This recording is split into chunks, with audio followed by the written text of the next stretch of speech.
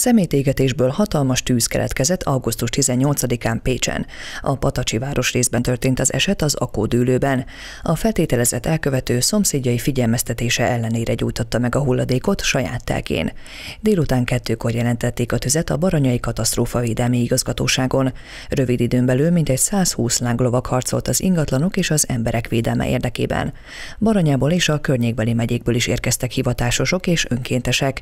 A tűz ugyanis átterjedt épületekre és a közeli erdőt is veszélyeztette. Látva a helyzet súlyosságát, hogy koronaégés történik, ami a szél sebességének megfelelő sebességgel, tehát akár 30-40 kilométert haladhat a tűz óránként, akkor még további segítségeket, segítséget kértünk a főügyelet útján, és itt több megyéből is kerültek kollégák, és elsősorban visszállítók leriasztásra.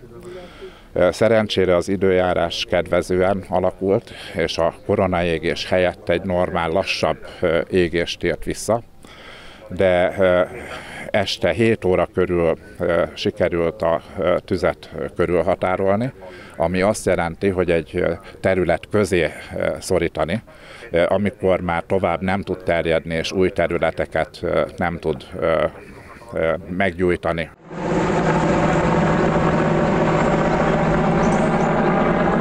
Ez pedig, hogy ezt ilyen gyorsan meg tudtuk tenni, a honvédségi helikopternek is köszönhető. Hőtérképet alkalmazó drónok segítségével adtuk meg ezeket a koordinátákat, odadobták a vizet, ahova járművekkel, vagy pedig gyalog nagyon nehezen tudtak volna, vagy sokkal hosszabb idő múlva tudtak volna a kollégák eljutni. Tehát ez az egyik sarkalatos pont volt a 7 óra körüli időszak, amikor utána el is köszönt egyébként a helikopter. A kollégáink maradtak, és hajnali kettőkor még visszagyulladó és füstölgő részeket oltottak. Ezt követően ügyeleti tevékenység volt a helyszínen. Az önkéntes tűzoltók is nagy erőkkel dolgoztak a lángok megfékezésén. Amikor megfogtuk a nyugati oldalt, akkor rádión azt az utasítást kaptuk, hogy menjünk az északi frontra.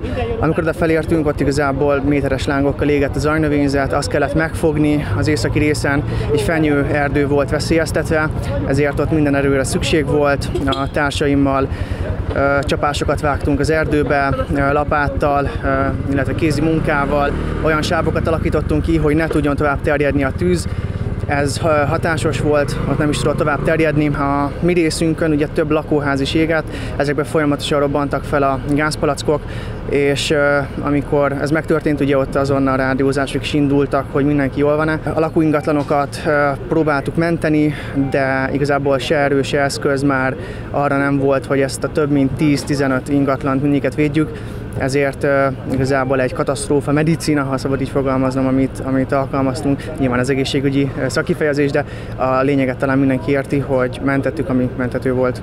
A polgárőrség is segítette a tűzoltást. Szint az elsőként lettek olyan polgárőr egyesületek, amik egyébként önkéntes tűzoltó egyesületek is riasztva, főleg azért, mert a polgárőrségnek drónjai is vannak, és magát a területnek, illetve a tűzkiterjedésének a felderítését kellett első körbe megcsinálni.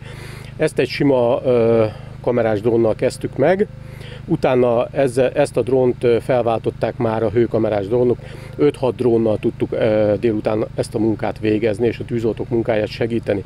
Emellett a polgárőrök ugye élő erővel, mivel az erdő területe az gépjárművel nem volt járható, élő erővel kellett háti fecskendőkkel, lapátokkal, szikracsapókkal bemenni, és ugyancsak a tűzoltók munkáját segíteni azzal, hogy a tűz tovább terjedését ilyen tűzgátló utak kialakításával megakadályozni. A következő nap reggelére már sikerült eloltani a tüzet.